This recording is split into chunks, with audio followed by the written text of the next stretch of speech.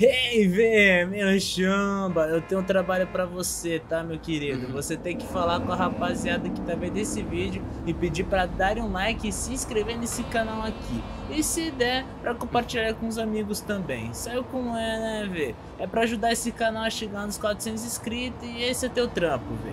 Dura só alguns segundos e a vantagem sensacional.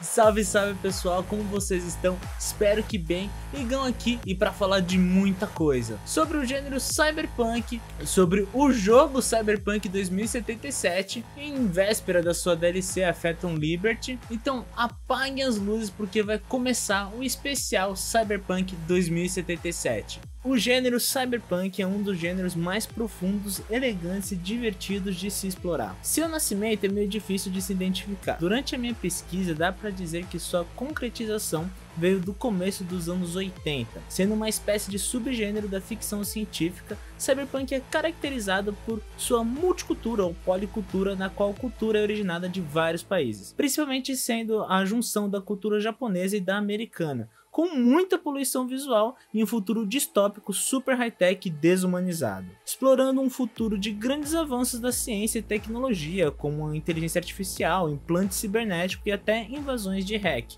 que naquela época era algo futurista ainda, e em meio também ao colapso social e à decadência humana, muito se originando desses avanços tecnológicos da cultura das drogas e da revolução sexual, evitando os paraísos futuristas de outros subgêneros. Isso tudo em meio à cultura punk e suas influências sociais. É difícil saber o que solidificou o gênero cyberpunk, Muita coisa veio do mesmo período, por volta de 1982 e 84. Vi alguns lugares dizendo que o Juiz Dredd, uma HQ de 1977, faz parte desse início do movimento cyberpunk, mas dão créditos a outras mídias também, como outra HQ, a Ronin, do Frank Miller, de 83, ou o livro Neuromancer, de William Gibson, de 84. Mas obras como Blade Runner e Akira de 82, no caso Akira o filme veio alguns anos depois, lá em 88, Ambos mostram todas essas questões e características do subgênero cyberpunk, muitos dizendo que é o seu estado ideal para o gênero. O fator megacorporativo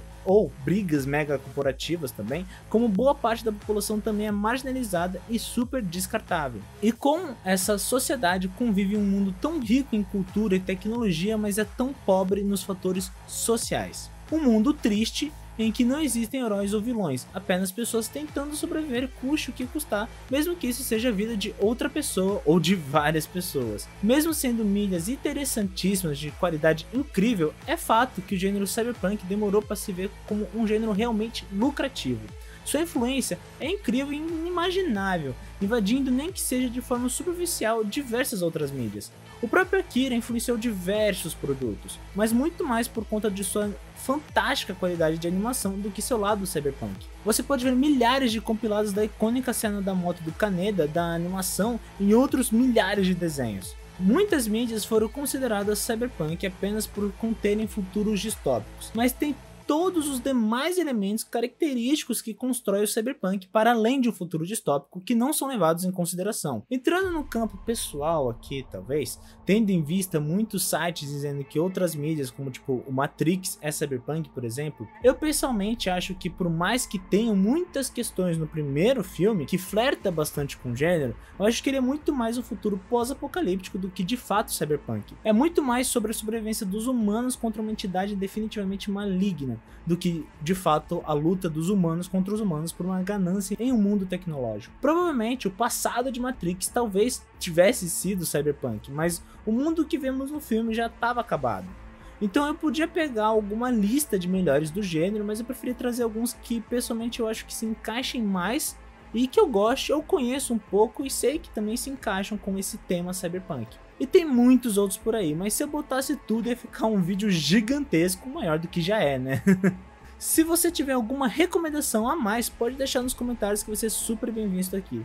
Me repetindo aqui, não posso deixar de ressaltar para vocês consumirem Blade Runner e Akira, principalmente os filmes. E só ressaltando que Cyberpunk é um gênero que quer dizer mais sobre a ambientação do que a história em si. O próprio Blade Runner é um filme de detetive noir, só que setado em um universo cyberpunk, que afeta diretamente as regras do gênero noir. Inclusive, Blade Runner tem um jogo de 97 de point and click que até pode ser facilmente jogado, aparentemente por sua Enhanced Version, disponível na Steam e na GOG. Tá com reviews mistas na Steam, então pode ser que esse facilmente esteja levemente errado, mas o jogo foi bem recebido até quando ele lançou. Temos os mangás e anime do Ghost in the Shell, sua trilha sonora, visuais, tudo faz parte da solidificação do gênero cyberpunk. Você tem a franquia de jogos Deus Ex, que é um mundo cyberpunk meio bonito demais ao meu ver, mas tem muito da essência e estilo e com certeza discussões do gênero.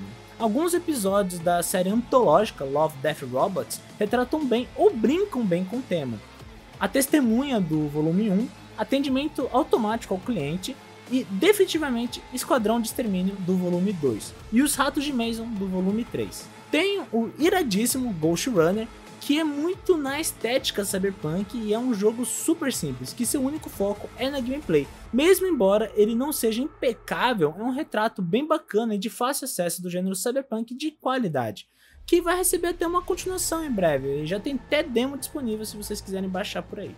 E com certeza deve ter mais obras nacionais do tema cyberpunk, mas a obra que eu consumi e amo é sem sombra de dúvidas o Nerdcast RPG Cyberpunk do Jovem Nerd. São alguns capítulos de um podcast de uma mesa de RPG super bem dramatizados, com uma qualidade de produção incrível, cheio de humor, críticas e fundamentos ideais do gênero. Um dos personagens, o Ozob, é tão icônico e marcante que além do livro dele que eu tenho, só não abri ainda, foi mal galera do Jovem Nerd, ele também entrou no jogo Cyberpunk 2077 e isso é fenomenal. Inclusive na dublagem brasileira do Cyberpunk, quem dubla ele é o próprio Dave, o Azagal, que é intérprete do personagem no RPG, no Nerdcast RPG. E sim, eu deixei de fora dessa lista o essencial para o vídeo de hoje, um RPG de mesa chamado Cyberpunk, no qual o Cyberpunk 2077 é baseado, inclusive tratado como uma extensão dele. Sua primeira edição, chamada apenas de Cyberpunk de 88, feito pelo Mike Pondsmith, fundador da Talsorian Games, Cyberpunk foi posteriormente batizado de Cyberpunk 2013. Era um conjunto de três livretos, Friday Night, Friday Fight, Interlock, Man-to-Man -Man and Weapons era o livreto sobre as regras de combate, seja corpo a corpo, como atirar e de movimentação do jogo. View from the Edge, basicamente o livreto sobre classes e suas skills, origem de seus personagens, estilo de vida e sua moralidade, da quais tinham que se basear em três pilares: estilo substancial, atitude é tudo e vivendo no limite. Livremente traduzido por mim, então.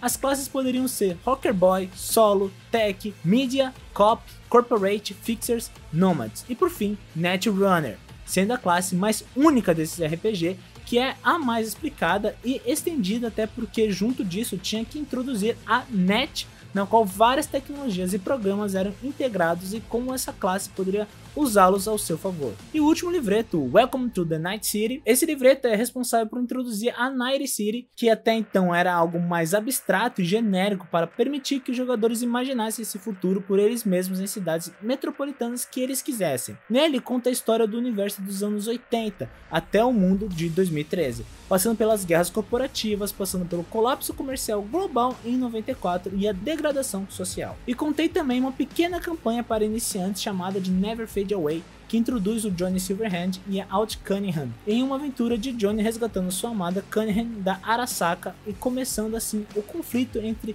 a mega corporação e o roqueiro. A continuação do RPG de mesa veio dois anos depois, em 1990, intitulado de Cyberpunk 2020 contando a história do mundo agora até o ano de 2020, e ele funcionava mais como uma mega update da versão de 2013 e se transformou na nova forma de entrar na aventura. E não só isso, como expandiu muitas questões da edição anterior, como também aprofundou ainda mais o mundo, dando ainda mais camadas do universo e criando e retrabalhando diversos conteúdos para os jogadores. Assim como a primeira edição, Cyberpunk 2020 chegou a receber reimpressões e atualizações com o tempo para gerar e aprimorar ainda mais o mundo. Depois de um longo hiato, o RPG volta em Cyberpunk versão 3.0 de 2005, setando o universo agora na década de 2030, muito chamando também de Cyberpunk 2030X. contando a história do mundo pós a Quarta Guerra Corporativa e em como a NET foi destruída, assim como retrabalhou e expandiu as coisas de seu antecessor, inclusive com a introdução dos Edge Runners que veremos mais à frente nesse vídeo. Basicamente, são pessoas que vivem no limite e fazem o que quiserem, uma espécie de mercenários por assim dizer. Porém, o Cyberpunk 3.0 sofreu com muitas críticas, principalmente do seu estilo artístico, de fotos de bonecos estranhos, substituindo o estilo de desenho característico feito à mão que continha toda uma ligação com os anos 80, todo uma, um estilo artístico único. E as alterações não caíram também no agrado do público, sendo assim Cyberpunk 3.0 foi removido do cânone do universo e considerado um universo à parte. O que nos traz para os dias de hoje com a versão Cyberpunk Red, lançada em 2020 agora contando a história do universo até o ano de 2045, retrabalhando tudo que tinha na versão 3.0, a substituindo e atualizando tudo da edição Cyberpunk 2020, servindo como uma continuação direta e atualizada da franquia e sendo um prequel para o videogame Cyberpunk 2077. Inclusive, os visuais se conectam bem e o Red combina com o CD Projekt Red. Já fizemos a ligação do gênero com o jogo, mas falta dizer um pouco sobre a empresa por trás do jogo. A CD Projekt Red, conhecida não só por Cyberpunk, como por toda a franquia The Witcher, Após o sucesso estrondoso do The Witcher 3, virou uma empresa de renome gigantesco na indústria. A confiança das pessoas na empresa era nível Rockstar ou Blizzard, que até então estava sendo bem vista ainda. Ou seja, sinônimo de qualidade. Começamos com o um anúncio da existência de Cyberpunk 2077 em um videozinho de revelação em 2012 e estendemos para um trailer mais elaborado e chamativo de 2013. Nesse período, a CD Projekt Red estava totalmente investida em The Witcher 3, que estava em produção a todo vapor, chegando próximo do seu lançamento. Então, até aqui, meados de 2013 e 14, a gente está falando da fase de ideias, artes conceituais, pequenos testes, o que seria a fase de pré-produção do jogo. Uma tática comum da indústria é que quanto mais próximo de lançar um jogo fica, é normal a empresa já estar começando a trabalhar no próximo, porque é um processo demorado. É comum artistas conceituais, roteiristas, entre outros, começarem a trabalhar em novos projetos por fazer parte muitas vezes apenas da parte de pré-produção de um game. Triple A's hoje em dia demora cerca de 4 a 5 anos para lançarem sem maiores problemas, e geralmente em uns 3 anos é normal já estarem trabalhando no próximo. Porém, o fim da grande massa de empresa trabalhando em The Witcher só foi trabalhar para Cyberpunk lá para 2017, já que até então eles não só estavam trabalhando no jogo base, como posteriormente nas DLCs dele, Hearts of Stone e Bloodwine, essa sendo uma das minhas DLCs favoritas. Só deixar claro que eu vi artigos diversos sobre o que eu vou falar agora, e é meio unânime, mas nada 100% concreto.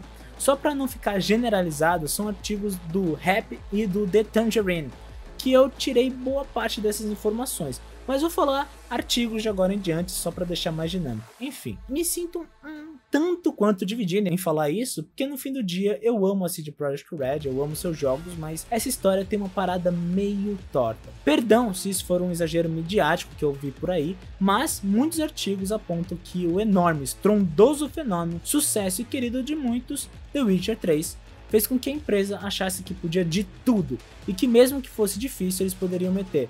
Relaxa que nós fez The Witcher 3, nós dá conta.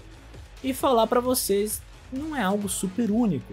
Mas já aconteceu até comigo mesmo. Eu fiz uma arte super bacana e bem rápida até, e pensei que conseguiria fazer o mesmo em outro. E no fim, eu quebrei a minha cara e tive que arrumar muita coisa, retrabalhar muita coisa e me ferrei. Levei quase o triplo do tempo depois. Então, eu não acho isso tão irreal de acontecer com uma empresa vindo de um sucesso tão bom quanto esse. Então, muito do que se queria para o jogo era ou inovador demais ou grandioso demais, até mesmo para os padrões da empresa. Eles poderiam inovar, mas dentro de um escopo mais seguro para entregar um jogo mais estável. Então, eles estavam mirando muito alto e, de acordo com o que eu entendi dos artigos, em 2017 entrou o diretor Adam Bodowski e agora, com a empresa livre para cuidar de Cyberpunk, eles decidiram retrabalhar muito do que tinha até então, do que só continuar com o que estavam pensando, aparentemente mirando ainda mais alto. Não só isso, como eles quiseram fazer um jogo em uma engine da casa, uma engine própria, não como a Unity Unreal e afins, mas a delas mesmo, a Red Engine. E isso acarreta em coisas boas e coisas ruins. Um exemplo é como a engine da casa dos jogos da Capcom, a Red Engine, se tornou flexível e prática e muito boa ao que tudo indica, e passou a ser usada em todos os demais produtos da empresa.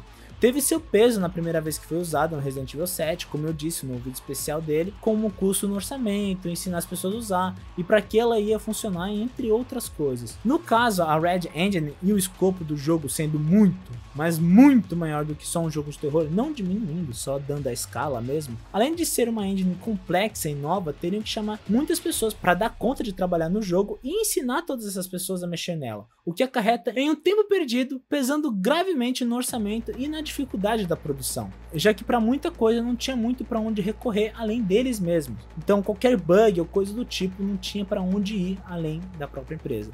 Fora o valor de produção de cerca de 316 milhões de dólares sendo esse, se não estou enganado até então, o jogo mais caro da história, talvez perdendo para Star Citizen, mas ainda não foi lançada. em 2018, durante a falecida E3, tivemos uma gameplay do Cyberpunk 2077 e algum tempinho depois tivemos essa gameplay expandida de quase 50 minutos de gameplay. É de uma quest que tem no jogo e que mostra muito desse negócio de história afetada por suas escolhas, dando para uma ramificação da storyline. Mas acontece que está muito acima do produto que a gente viu no lançamento e isso se deve por um problema grave de desenvolvimento do jogo. De fato, no vídeo eles têm um aviso que não é o produto final. E de fato essa quest funciona de forma similar à do vídeo no jogo. Mas a questão toda é que aquilo era um vertical slice. Isso é normal, você terminar um pouco mais um trecho do jogo para ficar claro para outras pessoas e até investidores de qual é que é a ideia do jogo. Normalmente é só um trecho do jogo mais bem acabado até aquele momento, mas pelo que eu vi em alguns lugares, eles gastaram muito tempo em foco em deixar esse pedaço super mega blaster polido para chamar atenção mesmo e aí começou a degringolar tudo.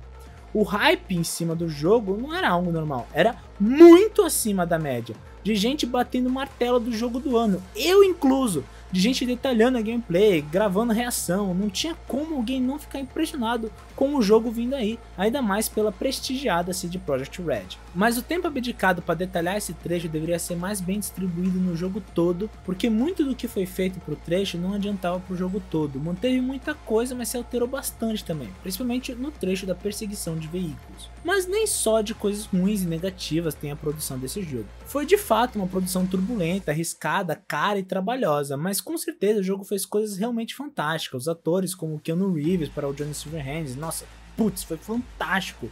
A tecnologia para a sincronia labial dos modelos com as vozes dos personagens, tipo, por exemplo, o jogo dublado tem a sincronia labial adequada para cada idioma, porque é uma parada automatizada, fantástico. Fora a transposição visual dos livros e mídias antigas, como as que eu citei mais cedo no vídeo, para inspirar e criar esse universo com uma atmosfera incrível. Dá para ver o livro, as artes, a referência no DNA da composição visual e sensorial do jogo a criação musical, como criar músicas que façam sentido para a realidade daquele universo. Em um mundo totalmente à parte do nosso, futurista, mas ainda assim oitentista, porque as suas raízes faz parte dessa sua essência dessa época. A parte do que faz Cyberpunk ser o que é. Você realmente sente o carinho e paixão dos envolvidos nessa produção. Mas é óbvio que em 2020 o jogo teve que sofrer delays, é, e muitos foram com as famosas imagens amarelas, memes circulando na internet inteira, mas até aí adiar é para melhor certo? E olha que eles ainda anunciaram que o jogo estava Gold e mesmo assim adiaram mais uma vez.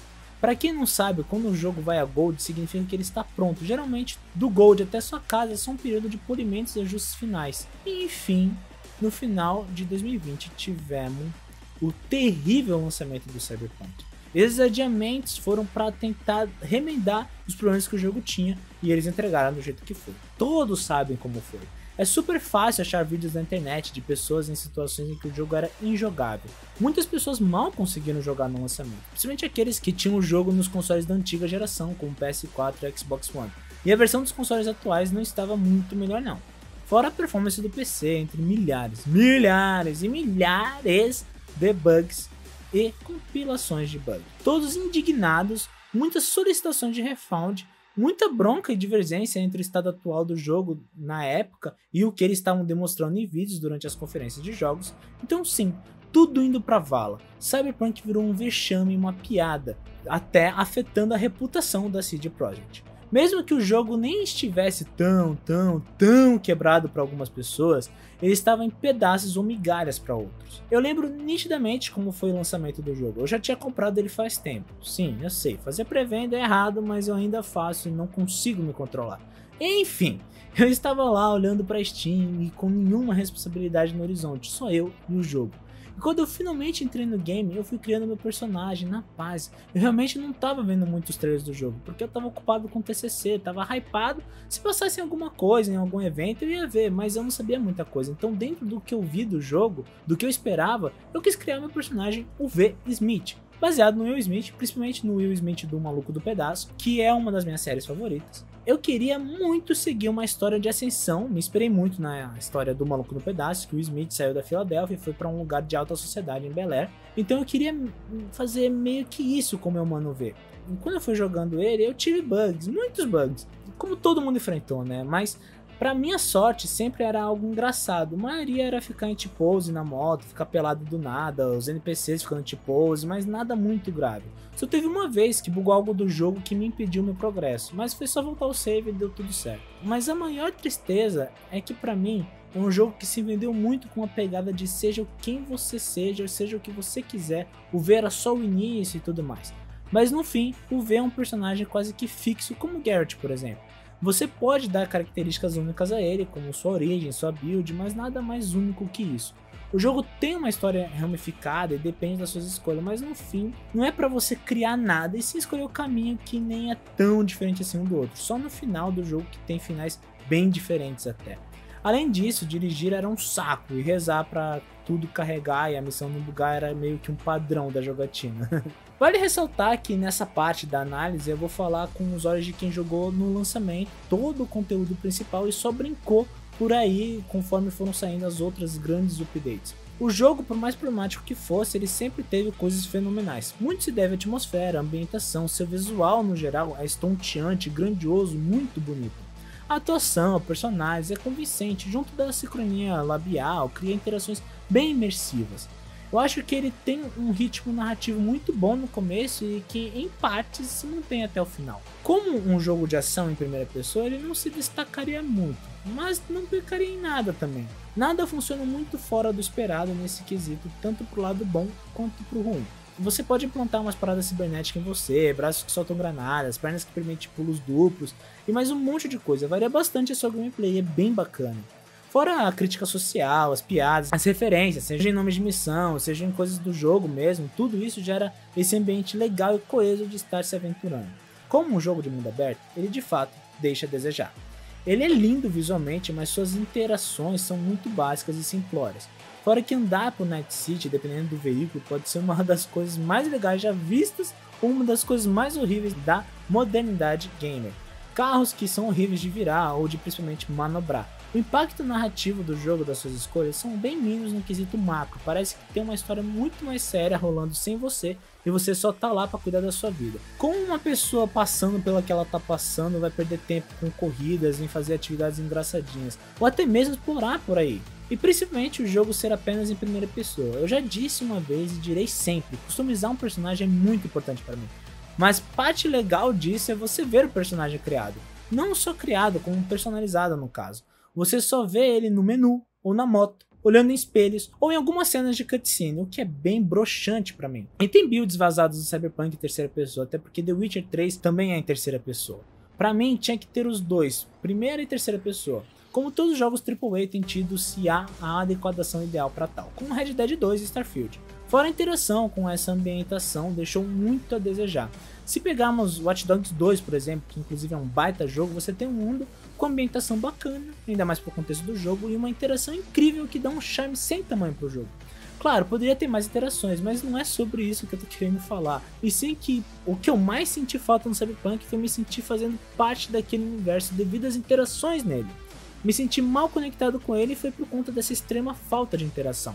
Então senti falta de andar em meio às pessoas e sentar e comer e beber algo em um restaurante ou em uma barraquinha, coisa que tem em outros jogos. Além disso, senti falta de perseguições da polícia, que hoje em dia melhorou, mas no lançamento era zoado pra caramba. O que era mais comum era eu dirigir, e por conta de como era ruim dirigir os carros na época, eu atropelei tipo, umas pessoas e fui instantaneamente explodido pela polícia.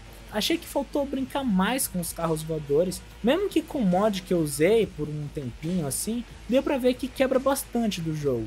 Mas tem um fator que o jogo não foi feito para receber isso, então é natural quebrar. mas seria legal se eles tivessem brincado mais com essa questão do carro voador deixando os telhados interessantes e coisas do tipo, tendo o que você fazer também com o carro voador. Dirigir no jogo é péssimo, inteligência artificial dos inimigos é péssima, exploração é meio redundante, você acaba fazendo as mesmas coisas e achando as mesmas coisas, não varia muito. Você pode ficar facilmente com o inventário lotado de lixo, milhares de roupas iguais, com aspectos parecidos e você ter que ficar vendo o nível. Ficar super pesado também é segunda-feira. Você nem consegue manejar esse tanto de lixo que você pegou. O problema é esse que os jogos da Bethesda têm de monte também. As atividades super legais só existem na história ou para no máximo missão secundária. As próprias corridas só existem na história. Eu acho que poderia ter ser algo para fazer para você poder se divertir pro Night City.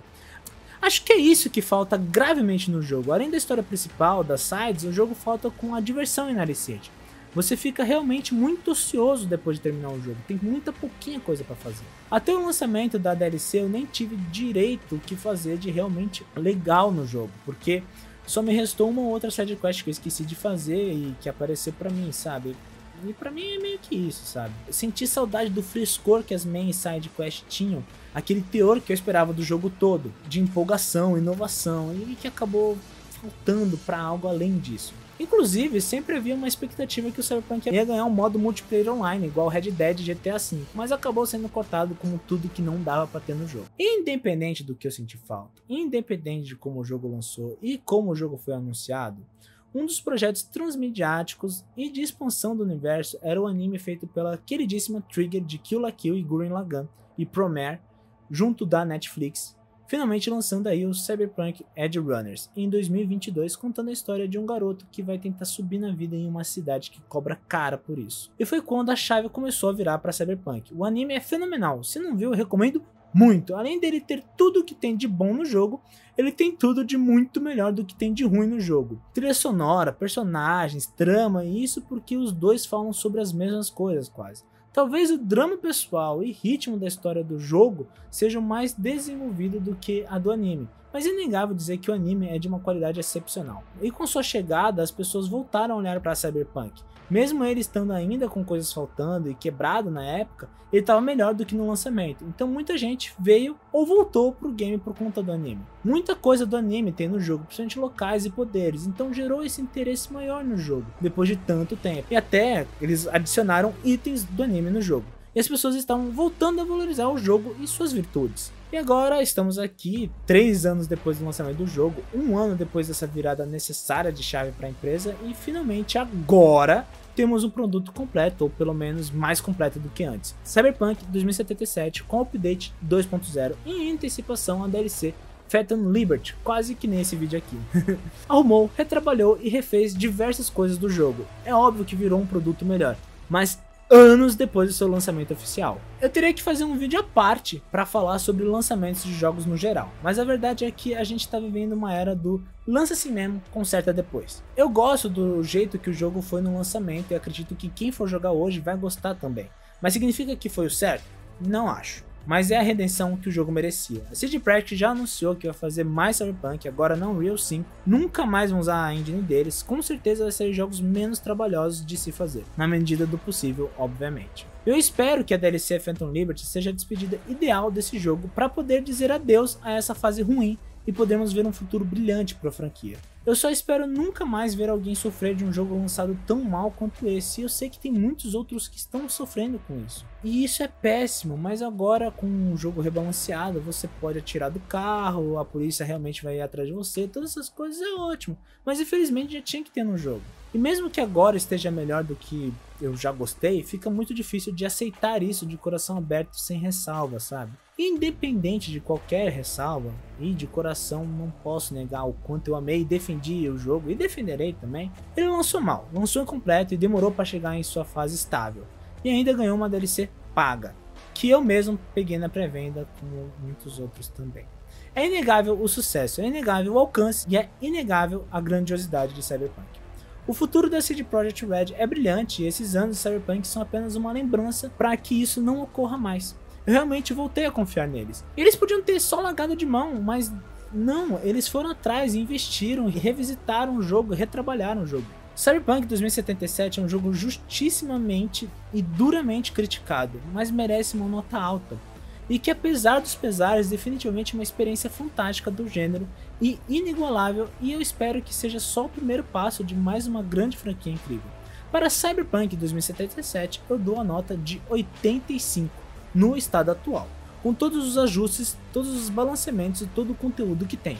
Eu queria dar mais, mas acho que tudo que ele peca, tudo que ele deixou a desejar e tudo que ficou de fora resultam nisso.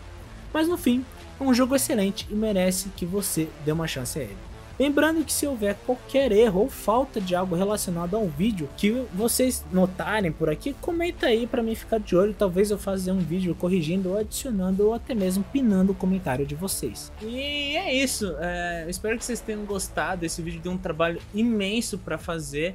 E eu espero que vocês possam retornar isso aí dando um like ou compartilhando com os amigos ou comentando o que vocês quiserem. De qualquer forma, muito obrigado pela audiência, um beijo no coração de vocês e até a próxima. Eu vou ficar por aqui. Tchau, tchau.